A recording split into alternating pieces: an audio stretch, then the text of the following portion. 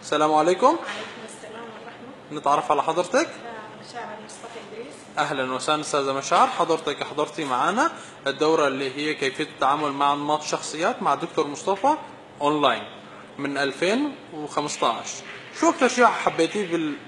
بالدورة وأكثر شيء غير بحياتك؟ آه، كيفية الإقناع شو استفدتي منها؟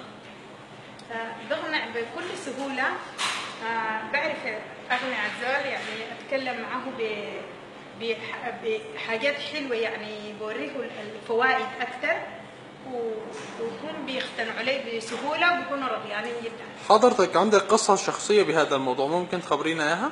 آه، ابن بنتي راسها بتكلم عادي ها آه، بنتي راسها قوي شوية يعني ما مقتنعة عايزة تقرأ طب وأنا عايزاها تقرأ صيدلة لأنه الطب متعب بالنسبة لها فأغنحتها في كم شهر لكن أغنحتها قرأت الصيدلة ومبسوطة جدا من معه. شو رأيك والحين بت- في تاني صيدلة حلو كثير شو رأيك بالتعامل مع شركة ميدكس